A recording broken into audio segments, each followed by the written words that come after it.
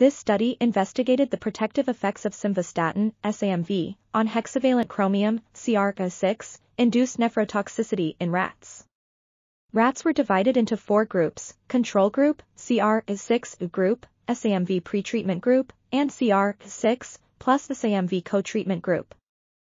The results showed that CR6 caused significant increases in malondialdehyde, MDA, and decreases in glutathione, GSH, levels in the kidneys. Additionally, histopathology revealed severe renal damage in the CR6 group. However, SAMV pretreatment significantly reduced MDA levels and improved GSH levels in the kidneys. Furthermore, SAMV also reversed the microscopic damage caused by CR6 exposure, indicating that it has protective effects against CR6 induced oxidative stress in the kidneys. This article was authored by Zahra Goodarzi, Esmaeil Karami, and Massumeh Ahmadizadeh. We are RTCL.TV, links in the description below.